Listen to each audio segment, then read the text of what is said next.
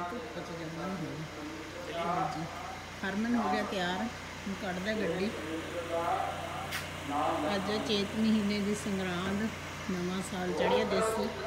ਹੁਣ ਅਸੀਂ ਜਾਵਾਂਗੇ ਮੰਜੀ ਸਾਹਿਬ, ਗੁਰਦੁਆਰਾ ਸਾਹਿਬ। ਮੈਂ ਖੋਲਦੀਆਂ ਗੇਟ ਧੁੱਪ ਬਹੁਤ ਅੱਛੀ ਹੈ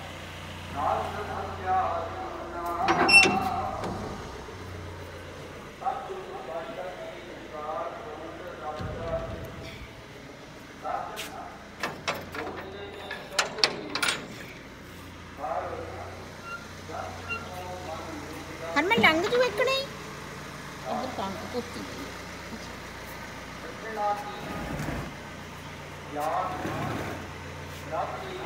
ഇല്ല ദേക്കും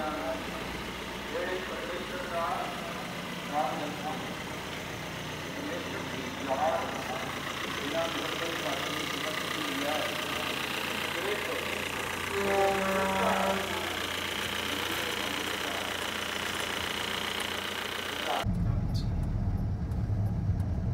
ਆ ਗਏ ਗੁਰਦੁਆਰਾ ਸਾਹਿਬ। ਉੱਚੀ ਬੋਲ ਬੜਿਆ।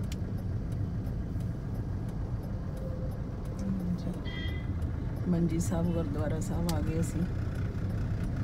ਅੱਜ ਨਵਾਂ ਸਾਲ ਸੰਗਰਾਂਦ ਚੇਤ ਮਹੀਨੇ ਦੀ ਦੇਸੀ ਨਵਾਂ ਸਾਲ ਚੜਿਆ। ਸਾਡੇ ਵੱਲੋਂ ਸਾਰੀ YouTube ਫੈਮਿਲੀ ਨੂੰ ਲੱਖ ਲੱਖ ਵਧਾਈਆਂ।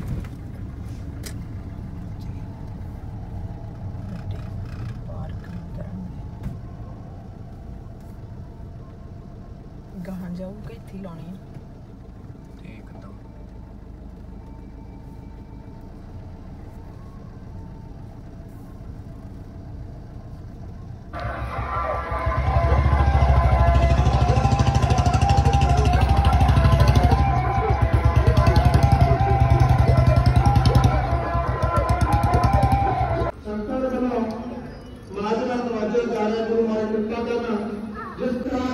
나가는 소리 담배가